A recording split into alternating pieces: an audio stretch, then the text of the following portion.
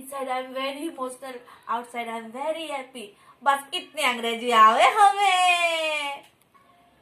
Hi friends तो आप समझ ही गए होंगे कि मैं आज most awaited Angrezi medium movie का टेलर रिव्यू करने जा रही हूँ। इस मूवी के जो मेन कैरेक्टर है, उनके नाम है इरफान खान, करीना कपूर, दीपक, दोबरियाल, राधिका मदन। इसमें राधिका मदन जो तारिका का भूमिका निभा रही है वो इरफान खान की बेटी है। वो चाहती विदेश में पढ़ाई करना इस ट्रेलर में इस तरह से दिखाया गया है। लेकिन इरफान खान जो है, वो चाहते हैं कि उसकी बेटी जो है विदेश ना जाए पढ़ने के लिए।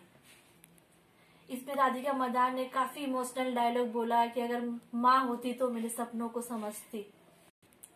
इरफान खान को इस बात से इतनी ज़्यादा तकलीफ़ होती है जब उसे इस बात, जब वो अपनी बेटी के मुँह से सुनता है कि अगर हाँ मेरी माँ होती तो मेरे लिए ज़्यादा समझती।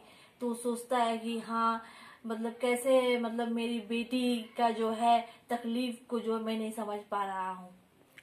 किसी पिता को ये बात कितनी कचोटेगी? तो इरफान खान अपनी बेटी को विदेश में पढ़ाने के लिए अपना जी जान लगा के उसे विदेश में भी ले जाते हैं। इसमें शायद एक बीच में एक स्टोरी और एक स्टोरी भी चल रही है, जो इरफान खान और दीपक दोबराल के बीच में चल रही है और दोनों भाई भाई हैं।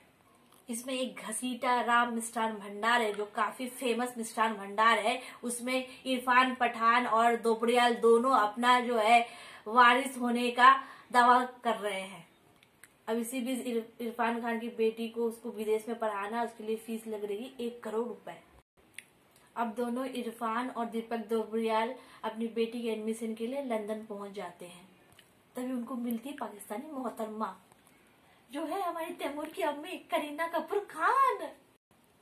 तब इसमें सारा मकड़ा जाल दिखाया गया है कि कैसे ये अपने बेटी का एडमिशन करवाएँगे। तो ये फ़िल्म अब देखने के बाद ही पता चल सकता है। हाउस द इंशाला बॉयज़ प्लेट वेल तो देखते हमारे लॉन्डे कैसे खेलते हैं। इरफान खान और दीपक दोबरियाल और करीना और मदान।